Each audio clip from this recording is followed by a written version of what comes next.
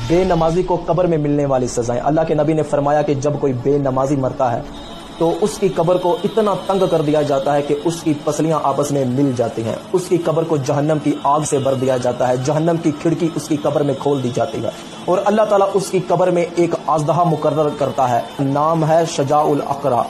उसकी आँखें आग की बनी होगी। नाखनों की लंबाई एक दिन की मुसाफत होगी। उसकी आवाज़ में बिजली के जैसी कड़क होगी। वो कड़कदार लहजे में बेनमाजी को बुलाएगा और कहेगा, मुझे तुझ पर आजाब देने के लिए मुकर किया है। मुझे हुक्म है कि ये बंदा फजर की नमाज़ नहीं पढ़ता था। इसको फजर से लेकर जोहर तक मारा जाए।